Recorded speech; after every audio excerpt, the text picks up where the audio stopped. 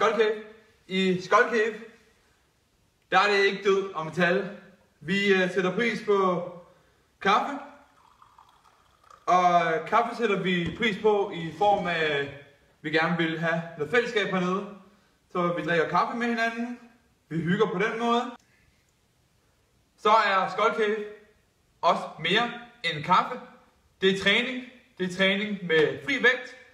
Det er træning, hvor vi tror på, at vi skal arbejde på vores resultater. Så det vi prøver i det, det er det vi får ud af det.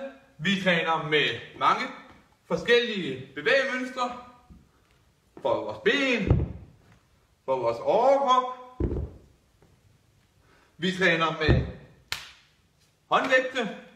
Vi træner med kettlebells. Vi træner med kropsvægt.